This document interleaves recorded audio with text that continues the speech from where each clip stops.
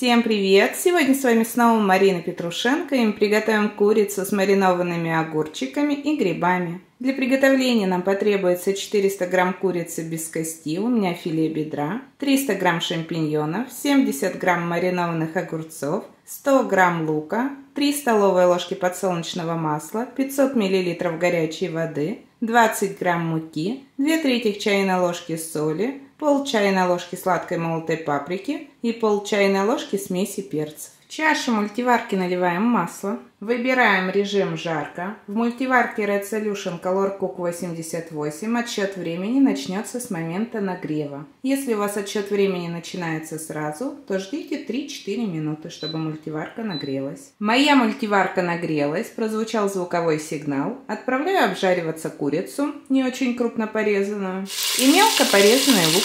Через 7 минут добавляем некрупно порезанные грибы.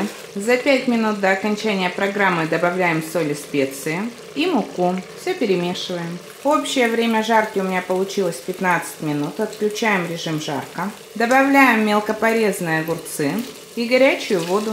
Обязательно еще раз все хорошо перемешиваем, чтобы ничего к дну не прилипло.